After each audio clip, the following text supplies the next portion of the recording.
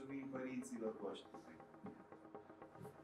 care v-au născut, care v-au adus până la acest ceas, care v-au dat binecuvântarea și bănuțul să fiți aici la mănăstire sau să mergeți acolo unde cu mila lui Dumnezeu și voia părinților și poate și timpul vostru vă este. Eu vă doresc să fiți bucuroși,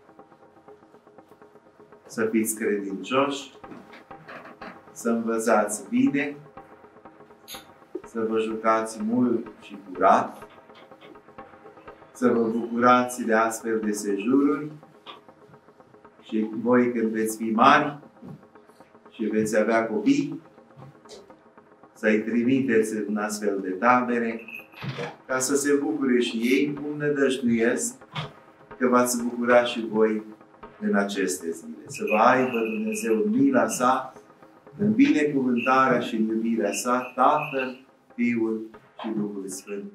Amin.